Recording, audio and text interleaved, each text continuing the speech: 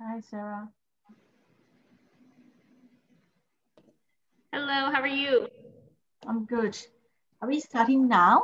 Great. Yes, Already 7:40. 7:40, yeah. gonna- Yeah, we're gonna get started. Who would like to be the host and share their screen? I will. Todd. I will do that right now. So you should be able to share your screen. Um, so yeah, we've already got attendees, so I'll let you get started. So just uh, kind of housekeeping. Um, if you do have any questions, please type them in the chat and we'll get to them at the end. Um, but yeah, you guys can get started. Great. Well, hi, everyone. I'm Todd St. Vrain. I'm the North America manager uh, for the University of Melbourne. Um, I lead uh, two people based in uh, California. So happy to assist you. And I'd like to introduce my colleague Eileen from um, in, in Melbourne. Oh, hi, everybody. My name is Eileen, and I'm the um, senior manager for the student recruitment in the Faculty of Medicine, Dentistry, and Health Sciences. So, you know, we really like to um, in, introduce some of our students. Unfortunately, they are not able to be here in person because they're in classes. Like we are about 11:40 in the morning, so it's full on, and they are in in the classes. But what they have done is actually um, made up some selfie videos to show you what life is like as a student in the Doctor of Dental Surgery program. Uh, a day in a life of, you know, what kind of motivations they have. And one of them is going to share about the residential college as well. So um, we have Elsh, Kunal, and Sydney. They, they're from uh, the different parts. And so without further ado, we're just going to show you the video and we can have more questions later on. Oh, yeah. Hi everyone, my name is Elsh. I'm a student here at Uni Melb. I'm in the Doctor of Dental Surgery program, and uh, you guys are gonna hang out with us today and see what it's like for us dental students. Enjoy. About me, I am an international student from Canada, and uh, I speak two languages, English of course, and Amharic, which is the language of Ethiopia, where I am originally from, country in East Africa, if anybody's familiar.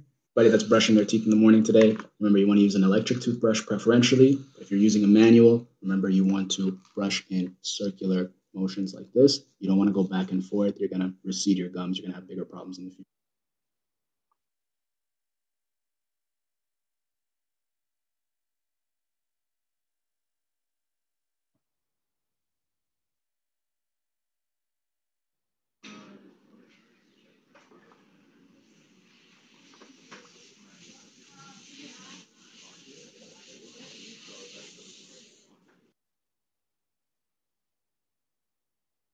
So this is where we have all our classes. We're at the uh, dental hospital.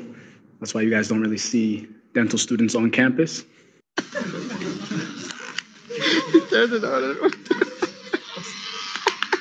guys, this is where we have our pre-clinics. Um, this is where we learn how to do, you know, oral surgeries, and we do it on mannequins before we do it on real people. So you guys are in good hands.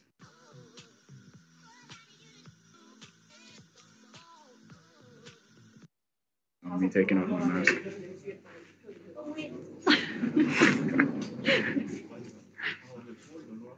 Okay, so this is what our dental bags look like. Got a bunch of teeth here, a face mask, some hand instruments. This was actually a, a makeup bag that I bought online. Never thought I'd do that. so for everybody studying, these little $1 coffees from uh, 7-Eleven, they save your life.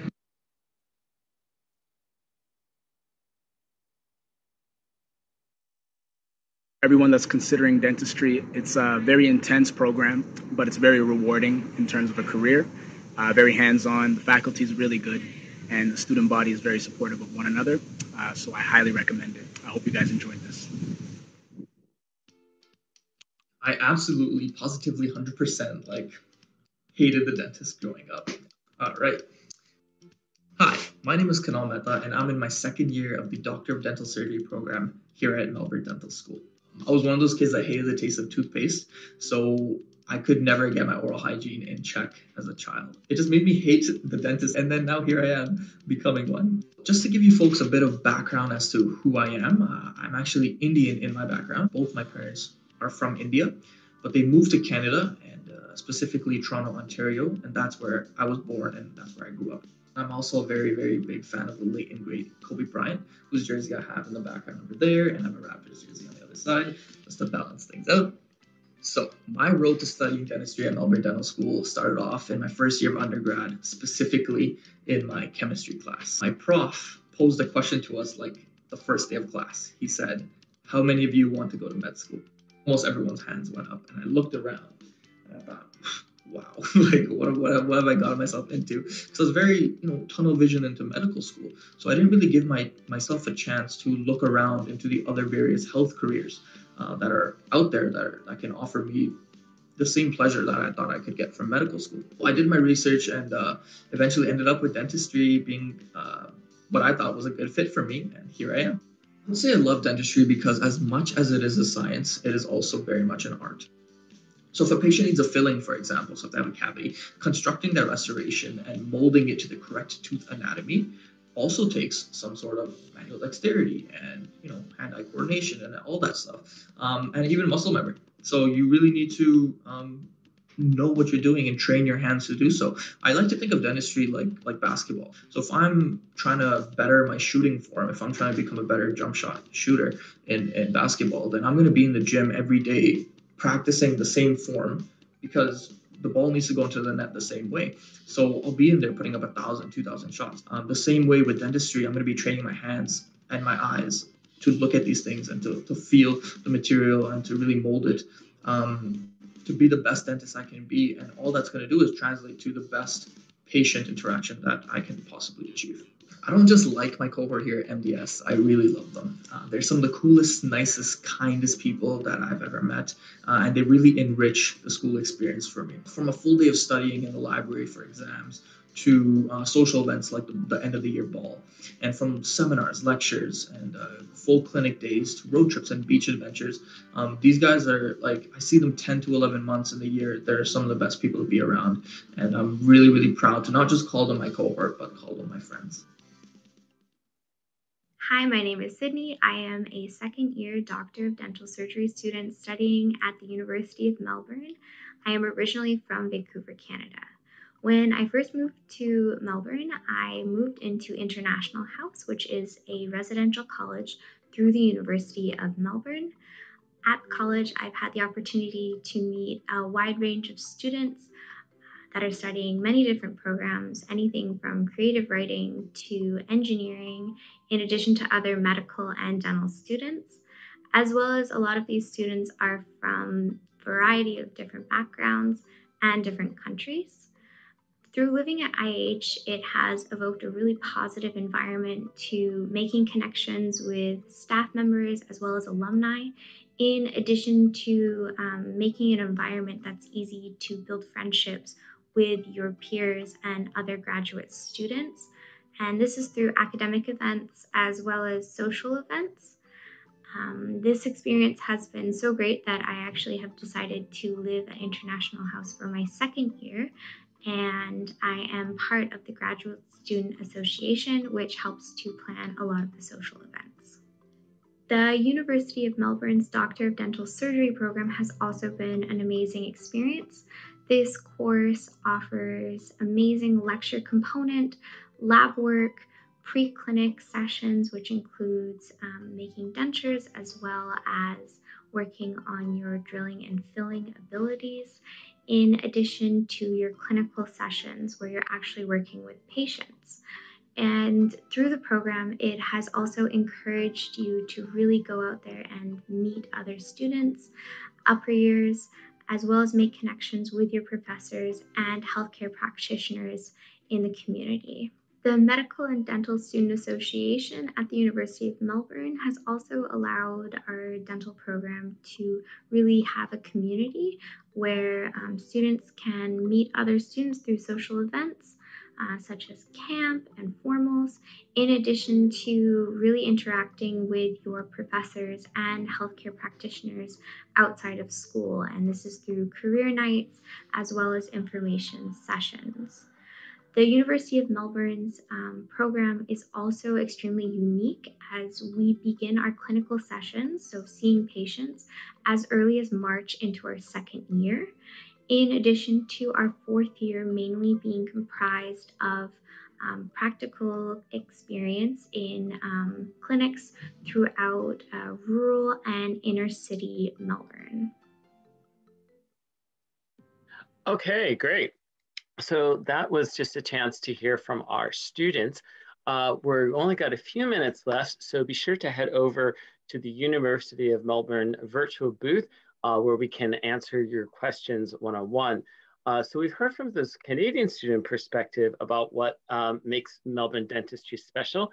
Um, Eileen, um, what's your take on it? Yeah, um, thanks, Todd.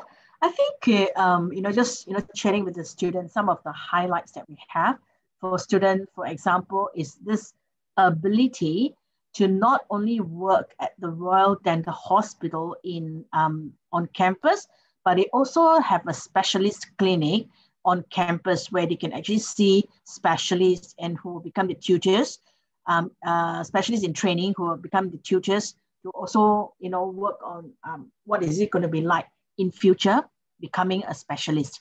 There's a lot of hands-on practice, and I think a highlight of the program is really in their fourth year, where students get to spend 40 weeks in the whole year to actually be rotated around metro areas, regional, private, and public settings to actually practice their clinical placement.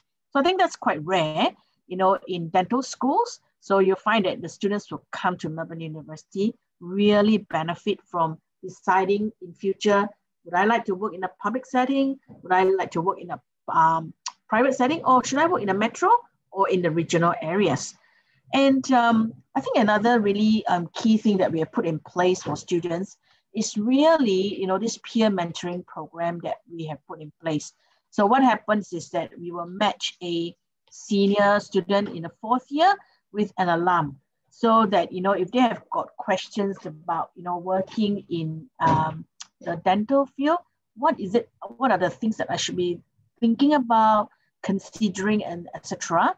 And so this alum, there are, there are people who are already in the field for quite a few years, and they'll be really be able to give very good advice for the graduating students. So as a form of preparation for them to enter the workforce. And I think finally, I just wanted to also highlight the fact that, you know, um, the alum who has come back to Canada, they have done really, really well. And they tell us that, you know, when they sit for the National Dental Board exams, the, Melbourne curriculum really has prepared them really well for that because we have a very strong emphasis on the OSCE style of examination, which is uh, very prominent in the National Dental Board exams um, um, setting. So because of all the practice that they have had in our uh, DDS program, they are very well prepared and therefore many of them have done extremely well in these examinations and get to practice in the end in um, Canada. So I think, you know, those are really some of the key factors besides the fact that we've got a really good program. You know, the, the things that you probably can't find on online to, to know about, but, you know, these are some highlights yeah, for students. Great. Uh, so we did have a question uh, regarding about how to meet the prerequisites. So I've posted a link into the chat uh, that we actually um, have a link to subjects from around the world, including all Canadian universities, of which subjects actually meet our uh, prerequisites. So be sure to check that out. Um, and as we're about to run out of time, come on over to the UniMelb booth to answer you know, more questions.